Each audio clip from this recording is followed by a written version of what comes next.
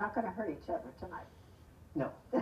Well, Tell us not what you are, intentionally. tell us what you are gonna do, because I do have to let you get to the Okay, demonstration. well, what What we're gonna be doing, we're gonna be doing, uh, five forms with, uh, with the, with the Jo. Uh, it's, uh, basically, uh, defense from a, a samurai sword. Uh, it was, it was developed, uh, basically to, uh, defend against a sword. And it, uh, originally they, uh, it was started by this man, uh, Muso Gonosuke, who, uh, who originally carried a six-foot staff. And uh, he fought this famous uh, samurai named Musashi and was defeated by him. And it really uh, bothered him immensely. So he, he went off and did some meditating. And he was visited by a, a tengu, which is basically, it's, it's kind of like a, a, a goblin in, in Japan, a long-nosed goblin. They, sometimes they have uh, the wings of crows. Anyway, he was he was visited by this, and he told, I was told that he should uh, slice off two feet of the of the six-foot staff, and it would give him more dexterity and be Uh-huh. able to move Hence faster. the four foot one you just showed me, Yes. you, but you have a six foot one. Yeah, well, I just you. I just brought that to show the, To the show. difference in that. uh, this. Uh, the uh, the six foot one actually gives you gives you a, a lot a lot more distance. It's a lot it's a lot uh, safer. It keeps this the swordsman at bay, but it's it's also very cumbersome and hard to shift from from the, this position and make it into an attacking form. Okay, so you're gonna demonstrate with these tonight, with the short ones, I presume? Yes, we're gonna, gonna be, gonna be using the, the Jo. The It's, it's, four-foot one. it's a, it's, it's much more versatile. Okay, now, you have some protective gear, do you need to put that on before you demonstrate? No, that was That's actually for, later. for Kendo, Okay, if we have time. then we'll, we'll talk about that later. Oh, what's this? And th- this is the, um, um, what we're going to show, uh, the, the Jodo forms are all, uh, how one would use the Jo, the staff, against the swordsman, based on the historical context that, that Gordon just explained. And so I'm going to act in the role of the swordsman, and, um, Gordon is going to wield the, the Jo. And, um, this is a unique form in that the, the swordsman always loses. Be, because the, that was the, the theory behind the meeting between Muso Gonosuke and, and Musashi. And um, wh- what's unique about this is that, uh, and and one of the things that I particularly uh, enjoy about Jodo is that even though my main focus is on Kendo, is that it gives me insight, uh, it gives the practitioner insight into the weaknesses. The weaknesses of a weapon that is grasped only by one end, because you can't, you can't grasp Right. it here, because this theoretically would be a, a blade and would cut you. So uh, the Jo gives uh, an insight into uh, the limitations of this weapon. Okay, so you're the, you've got the fake wooden sword, the wooden sword, okay, Yeah. so we, we won't hurt anybody. And if you gentlemen just let your mic, take your microphones Oh, off sure. and go over to the uh, demonstrating corner and we'll save those for when you're done, come back. Just put on the chair, I'll be fine, Gordon. And uh, I'll let you go get set up. And again, remind our viewers that we're um, speaking with Daniel Zoot and Gordon Fisher who are going to demonstrate uh, some interesting uh, forms of combat, if you will, for us tonight.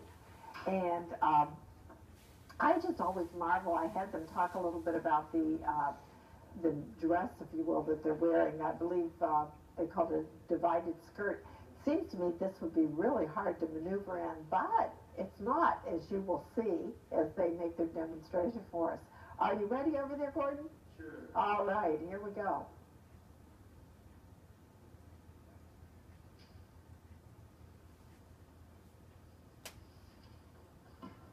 Keep moving. Excuse me.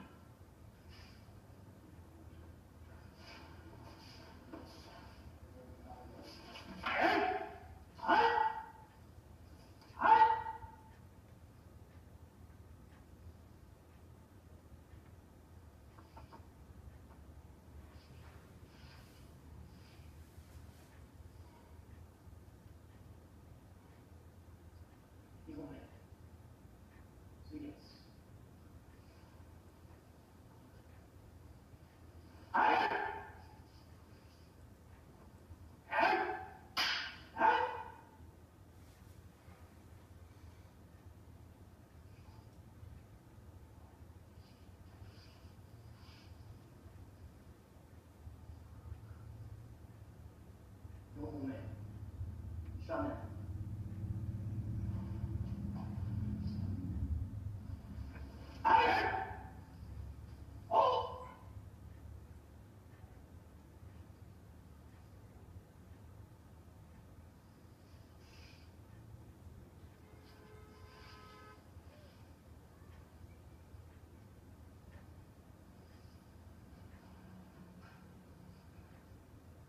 woman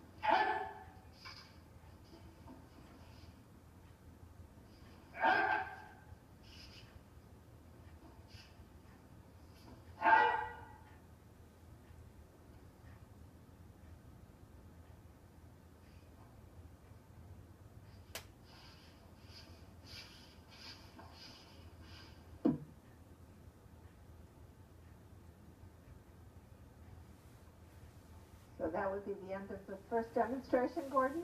Yes. Okay. Um, you, you guys can kind of stay over there, because you have more to show us, right? Well, we're gonna, actually, I was, uh, gonna have, to- I was gonna have, uh, Daniel, I was gonna explain what Daniel would do when he, uh, put his Kendo gear on. Okay, but before you do that, let me ask a few, few questions about what you just did. Oh, shit. Daniel, what were you saying in Japanese? I was saying the names of the different techniques. Oh, okay, so, The first one, uh, tsukizue basically just means uh, stick, uh, standing, reaching, reaching stick. Hmm. Um, the second one, that was the one where, where Gordon had the, the, the staff just planted in, the- in the ground as if it was waiting for someone to come at him. And um, the second one, uh, suigetsu, suigetsu is the Japanese word for the uh, solar plexus. And the reason for the name of that technique is because uh, in his response to my, my first, my strike, he uh, uh, does a thrust to my solar plexus. And then um, the next one, shamen, shamen just means, uh, shamen means like a geographical feature, like it means slant or diagonal. And the reason is because he, uh, the strike that he executes is kind of coming from a diagonal. And um, Sakan, the fifth one, uh, which is a unique technique because he does a motion which is derived from the use of a halberd, curved spear. Um, Sakan means actually uh, penetrating on the left-hand side. But uh, this is an interesting technique because the first motion where he does this represents, if you imagine that this, this were a spear, and this is the blade, and, and, and it's just a shaft all the way down, it represents receiving and absorbing the energy of a strike with, with the, with the, not the pointy end, but with the, uh, the shaft end of a spear. mm, And receiving the energy, turning it around and, and, and changing the hand position, and then cutting down using the blade end. So that, that's, a, to me, that's one of the things that's interesting about that. Uh, the, the spear that I refer to is, uh, in Japanese, is called a naginata. mhm. And then kasumi, the seventh technique. Um, kasumi means mist.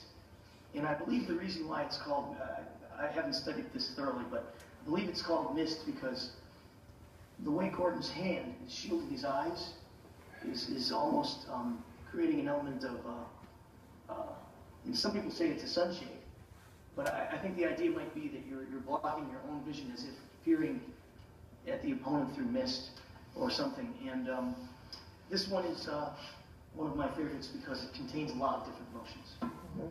So each of those techniques you just went through, are they, they are choreographed, more or Yes, less? Yes. Okay. It's kata. Kata means formal technique. Mhm. And it's, it's a, it's a encyclopedia of, t- of self-defense techniques that, uh, that a teacher can hand down to his student.